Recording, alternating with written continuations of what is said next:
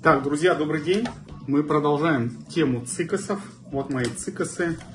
Еще одни. Значит, э, что я заметил? Я заметил следующее, что они у меня куда-то углубились. Вот видите, что-то они у меня низко стали. Это грунт слежался. Вот. э, И сейчас мы добавим вот такой оригинальный грунт для бонсая.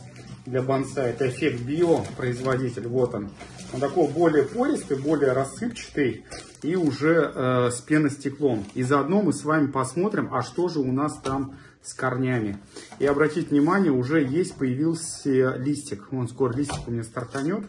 Давайте сейчас мы аккуратненько все это разрыхлим.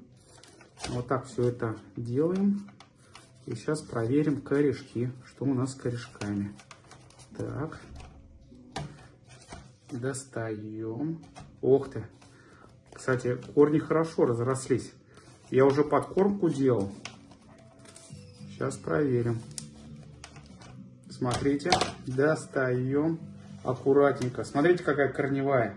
Обратите внимание, да, потенциал семечки. Вот такая семечка цикоса и какой корешок. Классный корень. Скоро будем его пересаживать в другой горшок. А возможно, прямо сейчас и пересадим его в другой горшок. Так что вот так вот. Сейчас мы все сделаем. Вот такой добавим. Оригинальный грунт для бонсай. Вот так. И вот листик скоро стартанет. Придаточные корни уже пошли, и это радует. Супер. Так. Сейчас мы пока его вот так поместим.